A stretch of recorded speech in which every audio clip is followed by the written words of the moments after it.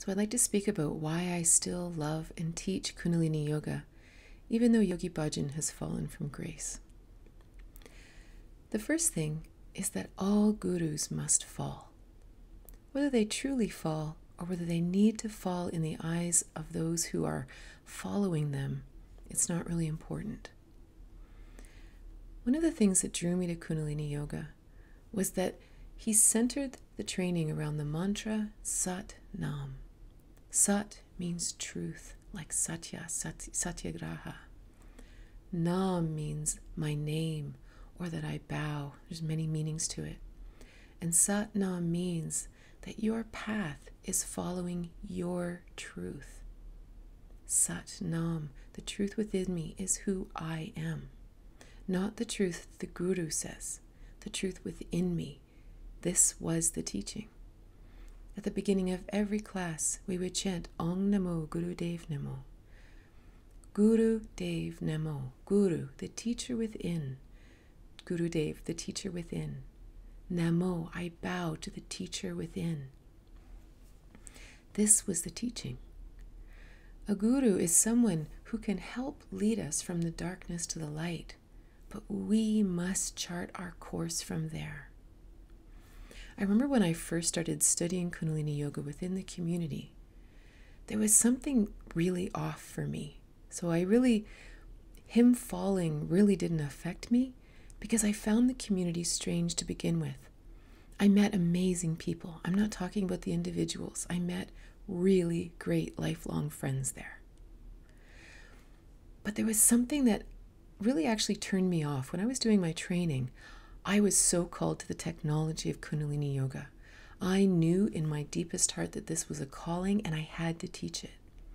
But when I would go away for the trainings every month, if you ask my family and friends, when I would get home, I would rant for the entire month about how furious I was about how they were kind of trying to brainwash you and it was this weird thing and they were trying to tell you what to do and how to live and what was going on. And I literally was this crazy person. And then I would go back, but I felt so called to the yoga. I felt so called to the teachings of the actual yoga, not the the strange there was something else strange that was going on that I couldn't quite put my finger on.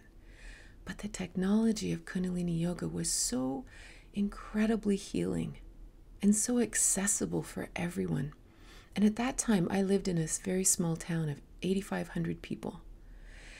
So I wasn't going to bring in all the religion and the the how to live and what not to do and you know and here's you know and I'm your guru, I am your teacher stuff because it wouldn't have been digestible anyway and I would never teach like that anyway. So all that guru worship really never stuck with me anyway. But I was so called to the yoga. It was so it's such a powerful yoga. And the reality is, is if there's any point in time when we start to idolize a guru, right? Idol. You can't worship idols. You have to honor God, the universe, the truth within. That is always the role of a teacher.